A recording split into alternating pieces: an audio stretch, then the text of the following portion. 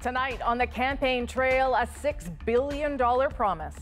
It's time for a universal tax cut. The Conservatives make a big pitch to middle class voters, but how will they pay for it? And problem candidates under fire. Is an apology enough? The war room strategists are here. A bus full of students crashes in BC. Was the road too dangerous? Almost 12 minutes of just nonstop guns. Seven shooters ambush a park in Mississauga just outside of Toronto, and an innocent teenage boy is killed. This is The National.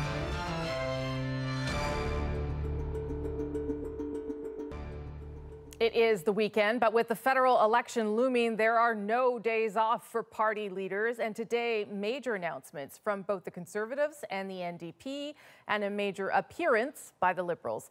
Heading into week two of the campaign, party leaders are trying to stay on message and knock their opponents off. Throughout this campaign, Sundays here at the National will have a political focus, along with the other big stories of the day. We will look at the issues that matter to you. We will go inside the war room strategy, break down the polls, and hear from voters like you trying to make sense of it all. Speaking to them today, Andrew Scheer headed straight for the bottom line, announcing a plan to cut income taxes. Salima Shivji explains who stands to benefit and what it could cost. You got your forms out already. Months ahead of tax season, Andrew Scheer chose this BC couple's living room to make a campaign promise he hopes will hit home. I wish I could say life has gotten easier for Canada's middle class, but it has not. A quick jab at his Liberal opponent before outlining his solution, lowering the tax rate for the lowest income bracket from 15% to 13.75 over the next four years. More disposable income for voters, less revenue for Ottawa, eventually amounting to a loss of about $6 billion a year, says the parliamentary budget officer. The Conservatives have long championed broad tax cuts. This one is not as dramatic as the one Stephen Harper promised to get elected in 2005. We are going to give consumers a tax cut that no politician can take away. Slashing the much hated GST, but it's in the same spirit. And in line with Scheer's message of more money in voters' pockets. In 2015, Justin Trudeau made a similar promise in another family's living room. Making sure that families like yours have all the opportunities they can to succeed. A tax cut to the second income bracket aims squarely at the middle class. Scheer's version will reach more taxpayers, even the wealthy, but not everyone equally. If you earn less than the top limit on that first bracket, then you don't get the maximum full benefit of the tax cut. The other open question how this tax cut squares with the Tory promise to get rid of the deficit in five years. We're going to get back to balanced budgets while we find ways to lower taxes, put money back in the pockets of Canadians. In the coming days, we'll be showing Canadians exactly how we're going to protect core services, balance the budget, and lower taxes. No clear answer from Andrew Scheer. He's hoping people will stay focused on the tax cut and not possible cuts to services that could be needed to pay for it. Salima Shivji, CBC News, Ottawa. So that was Scheer's planned messaging today. But again, today he was dogged by questions about candidates who've made offensive online comments in the past. Katie Simpson now with his reason for standing by them. Andrew Scheer is trying to focus on wooing new voters rather than attacks, mostly from the Liberals, over some of his candidates' social media history. Look, I think we all have to acknowledge the fact that people can make mistakes and people can own up to that. In a rare mid flight news conference, Scheer said as long as a candidate apologizes for offensive words, he or she can still run for his party. Seven conservatives have been called out for old social media posts or comments deemed controversial, homophobic, or racist. Most have been brought to light by the Liberals, dumping the material on Twitter for all to see. Average Canadians, they're seeing more, more of it, I think, but in some ways, I actually think they're kind of getting desensitized right. to it. The NDP has booted one candidate over aggressive comments aimed at pipeline activists. But the party leader appears willing to also accept apologies. I believe that people can change and improve, and I think that we should be open to that. That's my position. It depends. Scheer today did not see it necessary to apply the apology standard to his 2005 speech in the House of Commons, opposing same sex marriage, comparing it to a dog's tail. What I indicated last night is that it's all about the way whether or not people support fundamental equality rights and whether or not they show respect to uh, every Canadian and every group within Canada. Scheer says the attacks against his candidates are part of a Liberal distraction campaign, a way to divert attention from Justin Trudeau's record. Katie Simpson, CBC News, Comox, British Columbia. Another issue today on the campaign trail gun violence. All of the major party leaders were asked about a fatal shooting Saturday evening just outside of Toronto. Police describe it as a targeted ambush, but the 17 year old boy who died at the scene wasn't even a target. Another five people were shot, and as Shannon Martin tells us, police are seeking at least seven suspects. It, didn't stop. Like almost, almost 12 minutes of just nonstop guns. When Jiva Haripasad heard the gunfire, he didn't hesitate. He ran to help. What he found was a gruesome scene in all six people bleeding from gunshots, mostly teenagers. An innocent bystander, 17 year old Jonathan Davis, was killed. This family friend says his mother was with him during his final moments. When she looked over, she saw him laying there on the ground, a couple of doors down from where she lived. She was able to go to him. She applied pressure to his wound, which was um, a gunshot to the head, um, at the side of his head, and she um, wanted to see if she could resuscitate him. Right now, she's just beside herself. She doesn't understand um, what's what what happened. There was an ice cream tr- truck located within the complex, and there were families gathered around the ice cream truck.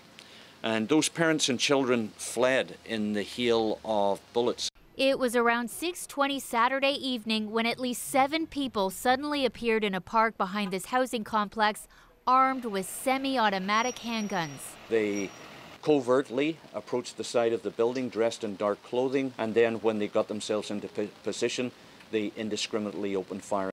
A targeted ambush style attack, more than 100 shell casings found littered across the lawn. The police chief believes it's all connected to a couple of rap videos, one that was shot earlier and one that was going to be filmed last night. He says something in the video motivated the attack. All the suspects immediately ran, and it's believed so did all the intended targets, the group filming the music video. The chief says most of the people caught in the crossfire were in the wrong place at the wrong time. Police are now appealing for witnesses to come forward, especially the driver of that ice cream truck. Shannon Martin, CBC News, Mississauga. Gun control and safety were always going to be part of the election campaign, but today leaders were forced to respond and were asked what they would do to help. We will, of course, be talking a lot about uh, community safety and uh, gun control in the coming uh, coming months, uh, coming weeks. The Liberals have been considering a ban on handguns and assault weapons for months musing about letting municipalities restrict firearms themselves. That's what Toronto and Montreal have been calling for. The Liberals would not commit to this today. We took some significant measures to strengthen gun control in the past, uh, in the past mandate. Um, measures that uh, Andrew, Andrew Scheer and the Conservatives have uh, committed to repeal uh, moving forward. Uh, we know there's more to do, and we will be doing more. The NDP says more should be done to deal with the root causes of violence, but also says it would support cities banning handguns. If a jurisdiction, if a municipality wants to make that decision, uh, not just to ban uh, semi-automatics, but even handguns that aren't semi-automatic, we've made that position clear that we would support them to uh, support them to do so. Instead of restricting guns, the conservative leader wants to give more resources to police and target gangs. We need better laws to deal with things like uh, the bail conditions that known gang members receive. Uh, that's why we need uh, greater cooperation between different police agencies. Ultimately, all political parties want to be seen as protecting Canadian safety while balancing the rights of law abiding gun owners, which can be a tough sell in some rural areas.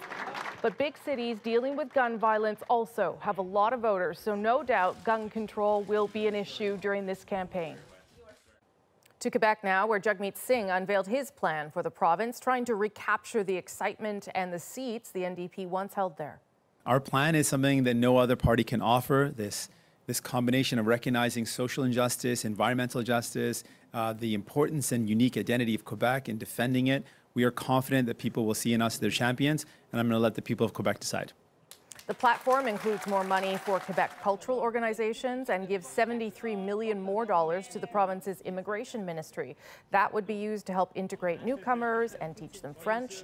NDP support soared in Quebec under Jack Layton in 2011, but has been struggling ever since. But winning Quebec will not be easy for the NDP. In the polls right now, they are fighting for fifth place, behind everyone but the People's Party of Canada. CBC poll analyst Eric Grenier lays out the latest numbers for Quebec and Canada. Rosie, we're looking at a really tight race nationwide, so let's pull up those national polling averages from the poll tracker. You can see it's a tight race between the Conservatives and the Liberals, with each of them at about 34% support. We have the New Democrats there now in third with about 14%, and the Greens 10%, the Bloc Québécois 4%, and Maxime Bernier's People's Party is at 3%. But it's this race between the Liberals and the Conservatives. It's been very close for a few weeks now, but the Liberals are probably in a better spot because of big leads they have in places like Ontario and Quebec. So let's take a look at the Quebec numbers numbers. They're really important to the Liberals' re-election hopes. They have 36% support right now in the province. They're trailed by the Conservatives, who have 22%. The Bloc Québécois at 19%. That's exactly where they were in the last election, but what's changed is down here between the Greens and the New Democrats, each at about 9.5% support. We saw Jagmeet Singh was in Quebec today trying to make his pitch to Quebecers. He needs to gain some ground there because he is in trouble. If we look at the seat projections in the province, shows why for the Liberals it is so important Quebec. They're right now projected to win somewhere around 52 seats. That would be a gain of about 12. And a lot of them are in the regions, the francophone regions of Quebec, which shows why the Bill 21 debate is a very delicate one for the Liberals. Conservatives are at 14 seats in our projections, the Bloc Québécois at 12, which is what they would need for official party status. The New Democrats, with the numbers we're seeing in Quebec right now, we'd project they would not win a seat in the province. Thanks, Eric. We also want to tell you about some special coverage you'll see here in the coming weeks from the National. We are bringing undecided voters from across the country face to face with the federal leaders. And I'll help those voters get the answers they need, they want. The first of four special programs will air two weeks from tonight. And a little later on the show, we'll take you to Quebec to talk about one of the biggest issues for voters there and other places the cost of living. David Common is in one of the most affordable places in the country and finds even they are struggling. Where do you think your money goes? Plus, millennials could decide this election, so what matters to them? And our new Sunday political panel is standing by. We'll take you inside the war room in about 10 minutes. Let's turn now to other news. Two people are dead. Three others have serious injuries after a bus carrying 48, most of them university students, rolled down an embankment. The bus company insists the driver is experienced. The bus passed inspection. The questions now are about the road they traveled. It happened Friday night in a rural area on Vancouver Island, so south of Port Alberni, excuse me, here. The students were traveling to the village of Bamfield along a gravel logging road. Travel, Tanya Fletcher went to the site, relatively remote, considered by locals as treacherous. This bus met tragedy on a dark night in the rain along a remote road with no cell reception. It was packed with University of Victoria students on a two-day research trip to the Bamfield Marine Sciences Center. The bus was traveling along this gravel road, narrow and filled with potholes, when it plunged down a ravine. Two students died at the scene while a complex rescue unfolded. A number of passengers were up on the road, and there were still uh, trapped people in the in the coach itself. But when we got here, there were still uh, pulling out people from the bus mm. by using a rope. I seen a rope over here. Local First Nations leader Robert Dennis was on scene that night and says the driver may have been trying to make way for an oncoming vehicle. So you spoke with the bus driver. What did yeah. he tell you about how it happened? Well, he said he, he was meeting the car. The, well, he didn't know it was a Jeep. He was meeting another vehicle with bright lights. And I guess that's what caused him to pull over. This isn't just a remote logging road, it's a key access point. Not only the only road access into and out of the local First Nations, but also to Bamfield, the Marine Science Research Station, and tourists hiking the popular West Coast Trail. This is the part that we call the washboard. It's always really, really rough, you know, like the old washboards. Dennis says the entire road between Port Alberni and Bamfield has long been dangerous. I can tell you right now that we probably have had up to seven of our own members killed on this road. Most of the road is privately maintained by a logging company. He's been advocating unsuccessfully for 20 years to have the province take it over so it can meet government safety standards. for us, you know, what is it? Uh, you know, the bottom line, the priority, or the safety of, of, of people using the road? Uh... Back at the crash site, traces of the tragedy remain while the investigation into what happened continues. Tanya Fletcher, CBC News, Bamfield, BC. U.S. officials say they have concrete evidence that Iran was behind a drone attack on a major Saudi oil facility this weekend. The attack has amped up tensions, with Donald Trump tweeting tonight that the U.S. is, quote, locked and loaded. Paul Hunter has more on the fallout. The drone attack came with precision, force, and results, turning parts of the giant Saudi oil facility into an inferno. It's not just an attack on Saudi Arabia, says this man. It's an attack on the entire world. And though Houthi rebels in Yemen were quick to claim responsibility, many believe they're incapable of carrying out such an attack on their own. Indeed, the U.S. now points to these satellite images showing the angles of attack as suggesting the drones could not have come from Yemen it was quick to accuse Iran, which backs the Houthis as the driving force in the strike.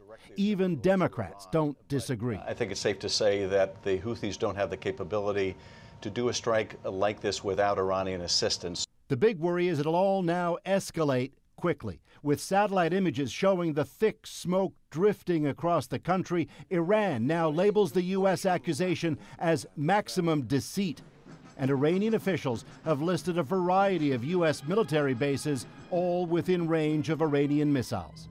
There's also that recent string of attacks on oil tankers in the Persian Gulf. The U.S. blames Iran but otherwise hasn't responded. Iran has shot down a U.S. surveillance drone.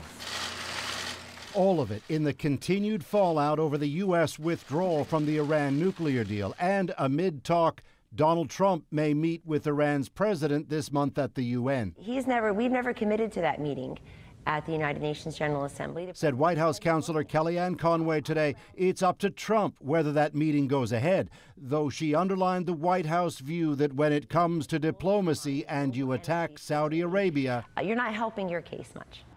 And so the tension grows in a region already long on edge. Paul Hunter, CBC News, Washington. Some other stories we are watching this Sunday night on The National. We're going to be out here for as long as it takes to get a fair contract. 49,000 General Motors workers in the U.S. are walking off the job tonight. They want more money, affordable health care, and job security. The strike could affect production at Canadian GM plants.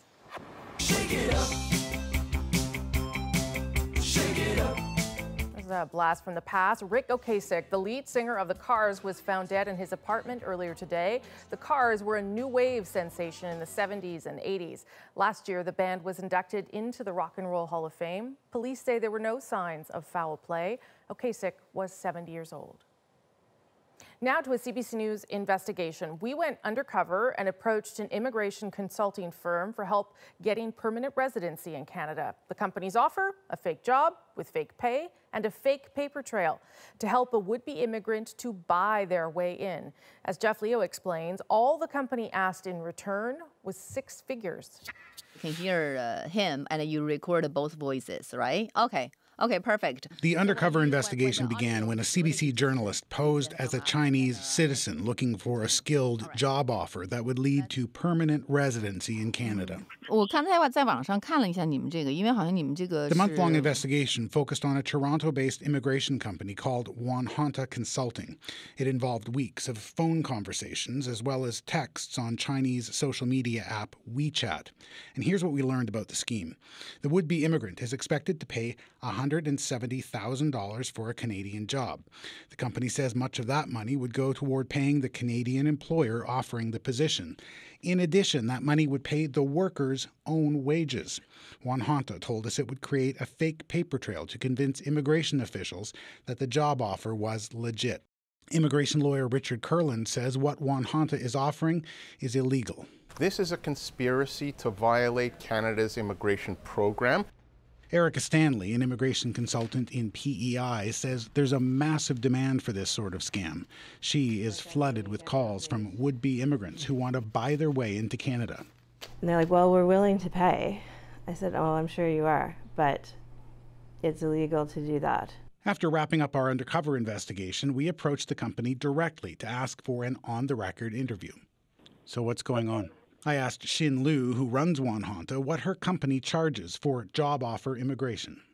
Um, everything includes 2000 to 5000 she also told me it would be against the law to pay for a job, and that's when I revealed we had been investigating the company for about a month.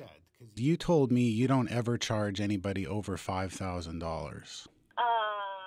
And you sent a contract to me for a 170,000. I'm driving right now. Can I call you back? Lu never did call back. Now, Kurland says these sorts of immigration schemes are rampant. He estimates that 20% of job offer files are questionable, and he says the solution is better enforcement.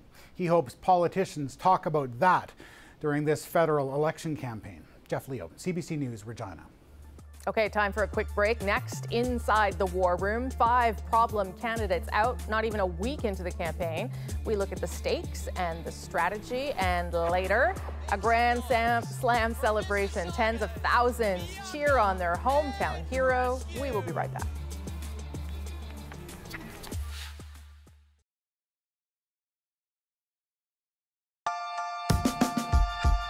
My name is David Herle. My name is Shakir Chambers. My name is Michael Hay. I formerly worked for Harper's Prime Minister's office and for the Ontario government on Doug Ford's election campaign. I ran two national campaigns for the Liberal Party under the leadership of Paul Martin. In 2017, I was Jagmeet Singh's leadership campaign director. This election will be divisive. And the last one for at least two of the major party leaders. This election will be historic. We are going to start tonight with a problem that pretty much every party is dealing with, either during the campaign or just before it candidates' past behavior now coming to light. Already five candidates have been forced to drop out, most because of old social media posts.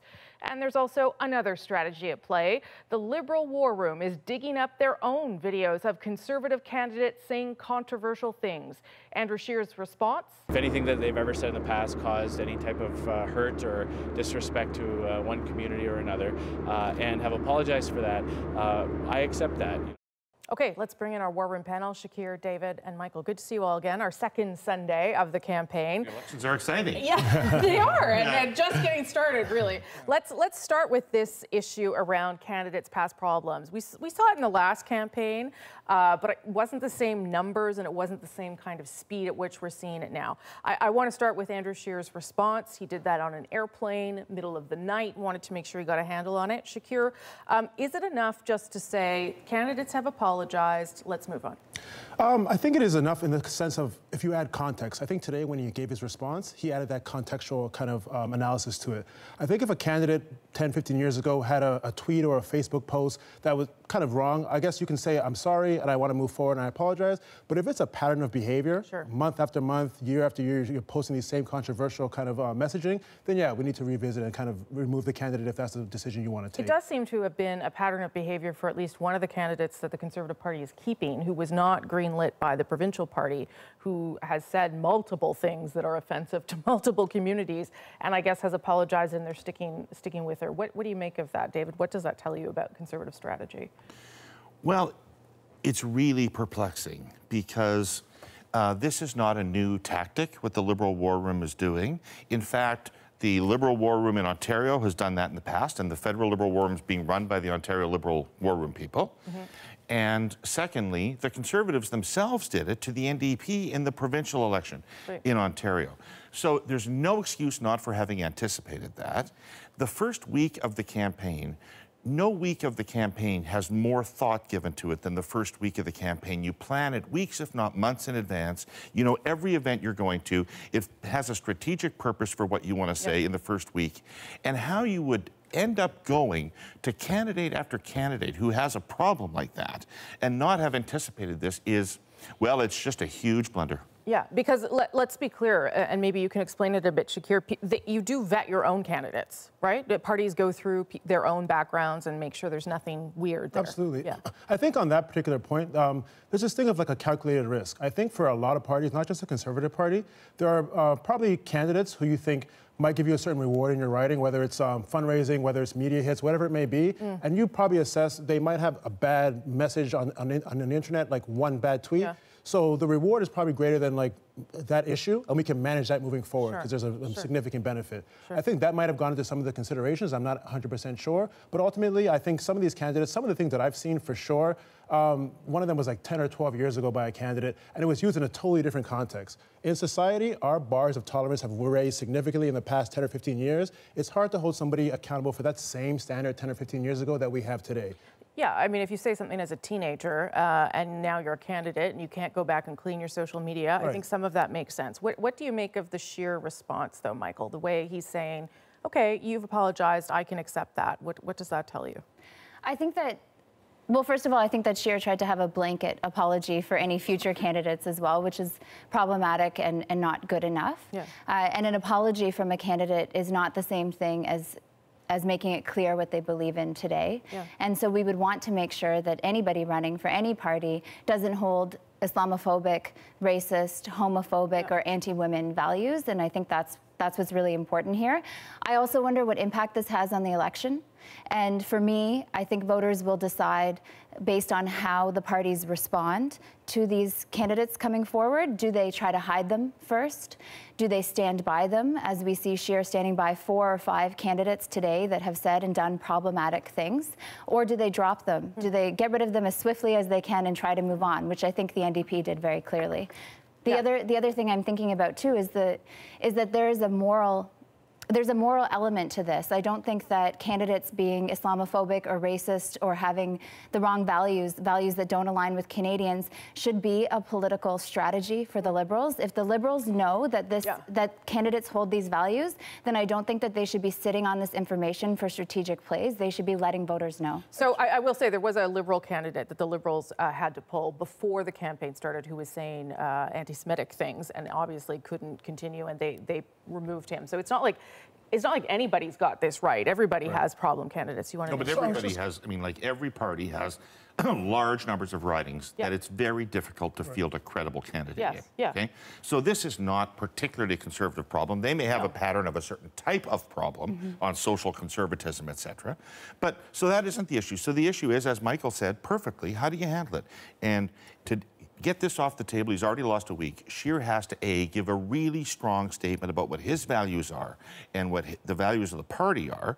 And second of all, he's got to find two or three symbolic sacrificial lambs and get rid of them. rid of them, Shakir. I'm not sure that's that's the case. I think two things here. I think one is that um, and, and when you're in this position, ultimately none of us are getting any younger. As people move forward and we have other candidates coming out, um, the younger candidates, Yeah. their whole life is going to be based on social media, right? So I think we need to get to the point where we're judging people for what they are today and not what they were 10 years ago on a certain post, right? If someone's views have evolved and they're a different person, I think we should be able to say, okay, give a second opportunity. This is why it makes Canada so great. We give people other opportunities and allow them to move forward on that message and on that different kind of uh, path that they've chosen. I think continually harping on the past of someone's behavior online, I don't think that's the correct way to go about assessing our Well, well, so let's let's talk about why the Liberals, not why they're doing it. It's obvious why they're doing it, and they're doing it really strategically, so that when Andrew Scheer appears in a riding, that's when they drop a video because he's going to be seen with a candidate who is, you know, who has uh, supports abortion or whatever, who has said controversial things in the past. Is this the right message for liberals who have been always talking about a positive message, right? And sunny ways and all that stuff. And this looks like the opposite of that. I, you know, I'm not saying that these people shouldn't be exposed if they have controversial viewpoints, but I wonder how it plays to the notion that liberals are uh, not out there to have a messy, ugly campaign. What do you think, Michael? I think it is important that the Liberals are exposing this about the Conservative candidates. I do think, though, that they should just put it all out there if they have it, and they shouldn't be sitting on it. Uh, if you know that about a candidate, voters have a right to know that this is a candidate's belief set, that this is their value system. Um, I think that the Liberals are very focused, it seems, on putting the Conservatives on defense so that they can continue to run a campaign that is based on their 2015 campaign and has Justin Trudeau not running on his on his record from the last four years. Yeah. What do you think of it? I mean, I, I, I know politics is mean. I mean, I'm not I'm not naive, but I just wonder how it plays to the branding. I don't think that people will actually see this as coming from the Liberal Party. I don't think they're going to get tarred from it. Um, and it really looks, frankly, like it's coming from media. When you see the headlines, you don't see liberals press Scheer on this. You see Scheer pressed on such a thing. And these things are catnip for the media. Uh, they're going to report them. So he's got to take this issue off the yeah. table, um, or he's not. I mean, it's worked perfectly for the Liberals, as Michael said, yeah. because there's no message from the Conservative Party in this first week of the campaign. Uh, well, I mean, today they got their message through because it was such a big policy drop. So obviously we had to, to give that the time it deserved. But then there's a second story, of course, about, about these other issues, particularly because today Scheer was asked, well, why didn't you apologize for the things you said about same-sex marriage?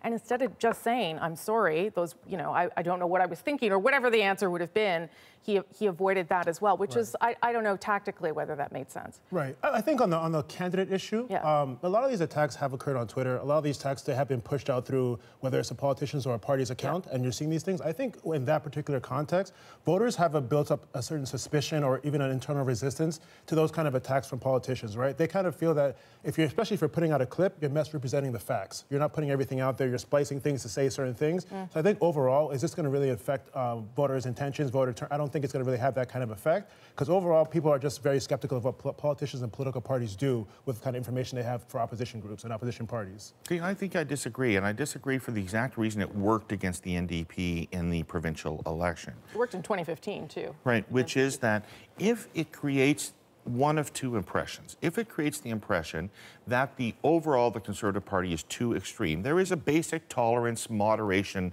threshold that has to be met to be the government of Canada.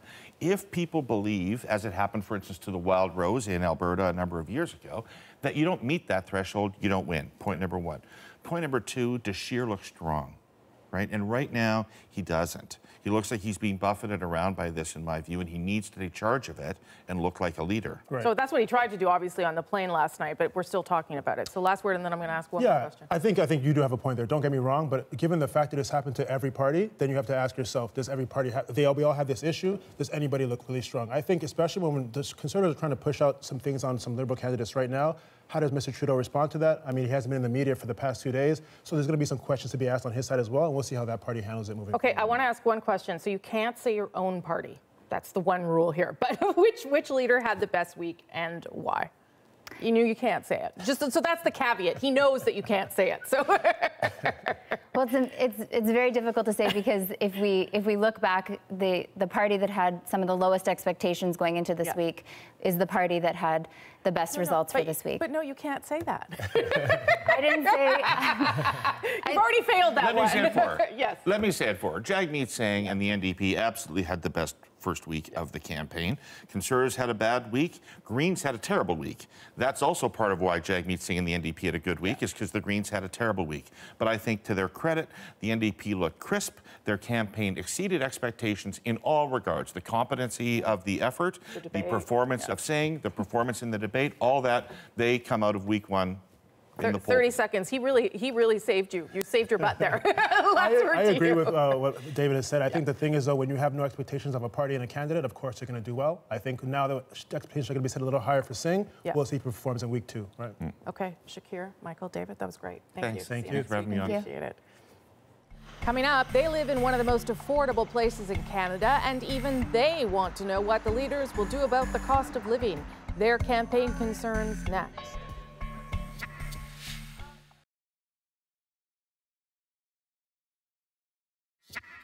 We want to make sure that people can afford their bills. This is an important measure to help make life more affordable. We will move forward even further to help Canadians afford their homes. It's a big theme on the campaign trail cost of living. Each party promising to put more money in your wallet, from housing to transit, even your cell phone bill. Even though the economy has been performing well with the best jobs numbers in decades, the anxiety appears to be real and widespread. Canadian households are carrying record levels of debt, and polls consistently put cost of living as a top concern a lot of it really comes down to how you feel. David Common went to visit a place in Quebec where people can afford to live good lives, but even there he found undertones of anxiety and a sense of being squeezed. Not to make you jealous, but Saint Jean sur Richelieu is picturesque. A friendly, historic downtown. There are jobs here, cheap daycare, downtown Montreal, only about 40 minutes away, low cost buses leave every 10 minutes to get commuters there. Oh, and then there's the houses. Average price, just over $300,000. How many times have you moved? Uh, approximately 22. 22 times in your life. Yep. Are you going to move from here? Hopefully not. After all, Anaïs Bureau has what so many Canadians want not just the backyard chickens, not even the inexpensive, plentiful local produce. She has affordability. Anybody who's going to, to help us maintain this quality of life is definitely going to have our vote. With the upcoming federal election, our concerns are pretty much the same as we're seeing in the city. Anaïs and her politically oriented neighbors believe they're better off than many Canadians. Things cost less here. Yet, even they feel the squeeze, and they're looking for answers. We need more money invested in transportation. Put more money uh, in the development of the city to be sure that we can walk uh, bicycling or take the train, the bus to go working. We really want to work to keep those trees and those green spaces. And they are already tuned into their priorities. Down at the local fair, though, some see challenges in their own lives, and those challenges will be the issue they vote on. What they can do for the child, because you know I'm a mom, you know, and for for the family and for for improvements uh, for school and for environment. The most important subject for me, being an employee of the federal government, is the is the problem with the Phoenix Pay issue. L'écologie, comme on parle, l'environnement. Hmm. Honesty. How do you know who to trust? You don't. It's very hard nowadays to know who, who to trust.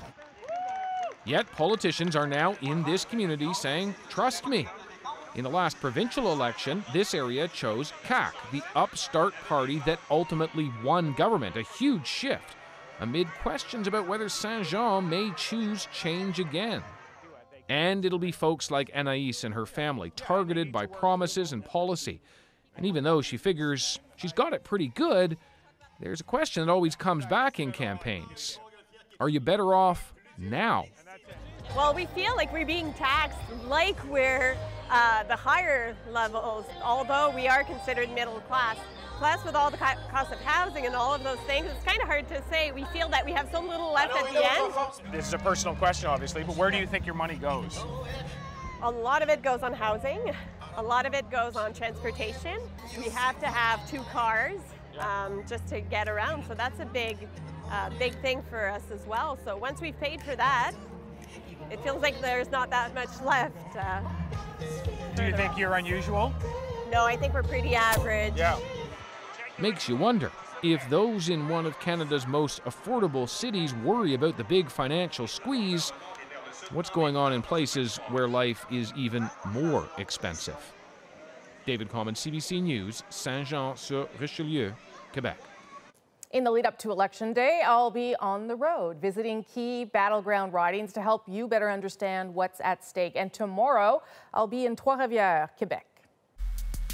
With 78 seats up for grabs, Quebec is already shaping up to be a three way race between the Liberals and the Conservatives. Wow, merci beaucoup tout le monde, chers amis. Bonjour tout le monde. And a Bloc Québécois hoping to rebuild.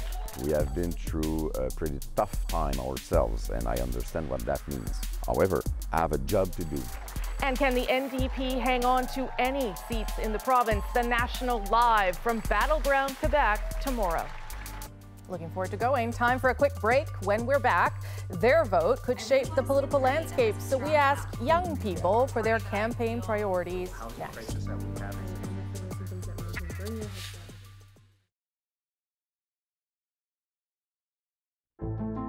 I'm Jamie Poisson, and tomorrow on CBC's Daily News podcast Front Burner, we're launching a new series where Canadian voters have their hard questions answered. First up, where the parties stand on climate change. Subscribe wherever you get your podcasts. On October 21st, every single vote will count, but one group in particular could sway the outcome of this federal election. It's voters under 40, so that's not me. In that group, these six people, they're from all over BC to Newfoundland, Yukon to Toronto, and from all kinds of backgrounds. They're also all right now undecided voters. We're going to follow them throughout this campaign as they make their decisions, and tonight they lay out their priorities. In the upcoming federal election, I'm an undecided voter. In the upcoming weeks, I'm going to be doing my homework and keeping a very close eye on what's going on. I've always voted, will always continue to vote. It's always about jobs here. we need to look at the bigger picture. The energy sector, as well as free speech. I like to see the various policy proposals that the parties are going to be putting out, and also the tone that the various uh, leaders set. I just want to know how the various parties are going to improve my life and the lives of all Canadians. My name is Saba Chaudhry. I'm in my 30s and I'm a strategic communications manager living and working in the city of Toronto. I really want to see a party that has a strong platform around climate action. What are the national strategies and policies that will be put into place to ensure that we are saving our planet for future generations? Over the past couple of years, Canada has really established itself as a global voice for climate action, and I simply do not think that it's an option that we roll those efforts back. My name is Ivan J. White. I live in St. George's, Newfoundland, in the riding of Long Range Mountains. My biggest election issue is closing the gap for Indigenous people. We need government to work with us to fix the underlying issues that cause our problems. After voting in four federal elections, I've never seen myself in the governing policy. Don't get me wrong, I'm, I'm there during the campaign. I'm I'm in the promises. I'm just, I don't feel that I'm in the policy after that. My name is Emily. I am 20 years old and currently I'm in my second year of undergrad at McGill. I will be looking for an ambitious um, climate agenda. Um, and I've been following a little bit of the uh, SNC Lavalin um, scandal in the past few months. I plan on going in to vote for a party that I feel will include every single person and who will defend and will fight for all the marginalized communities in Canada. I'm Christian Hebert from Moosomin, Saskatchewan in the southeast corner. My job is I'm a self-employed farmer. My number one issue, as I said, is really lean to small businesses and entrepreneurs, but especially to our export markets. How are we going to rebuild the relationship with these countries? How are we going to expand them? And thirdly, how can we create value add and an, and an incentive to invest in value add in many of the products that we create in Canada, i.e., potash, oil, wheat, canola, and so many others. My name is Petros Kuzmu. I'm a 30 year old Albertan born British Columbian, and I'm a management consultant. I am a volunteer tutor and just generally an active member of my community. The affordable housing crisis that we have in some cities like Vancouver, immigration and plurality in Canadian society, um, climate change and energy development. I'm going to be really curious to hear about how the various uh, party leaders are going to be proposing that we resolve some of these. My name is Katie Baudouin. I'm 25 years old and I'm a Canadian paramedic. And I live in the Yukon Territory. I am an undecided voter. I am leaning against the Liberal Party just because of Justin Trudeau. I haven't been very impressed with his performance the past couple of years. I am a fan of some things that Maxime Bernier has said uh, regarding our veterans and uh, immigration, uh, as well as the energy sector and free speech. I think as uh, Canadians, we all appreciate our veterans and uh, we want them to feel taken care of. I'm voting in the 2019 federal election because I want my voice to be heard. I mean, we're talking about the next four years of Canada, right? I think this one is going to be particularly historic.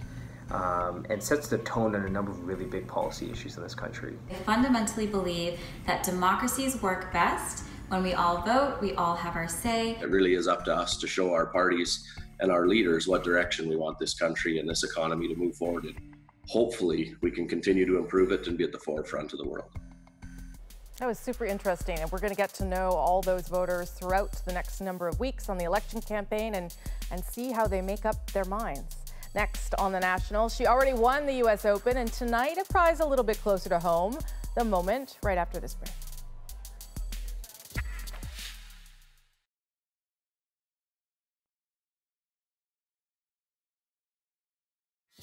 I wanted to be here today to see Bianca. She's the best role model of tennis. She inspired me to be to believe in myself.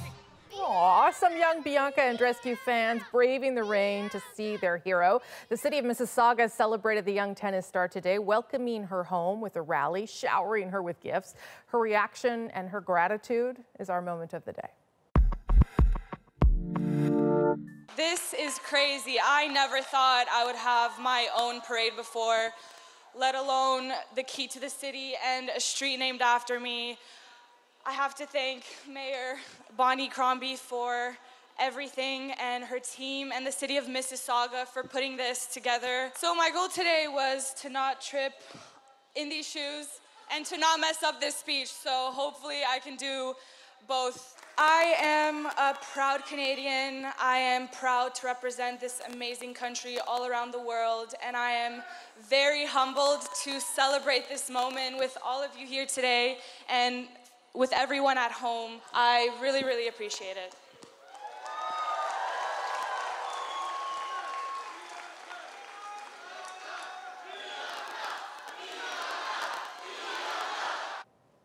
She's just great. She managed in those heels, which is impressive, and she's humble and graceful, and um, yeah, we should all be very proud. That is the National for September 15th. I'll see you tomorrow night on the road from Quebec. Have a good one.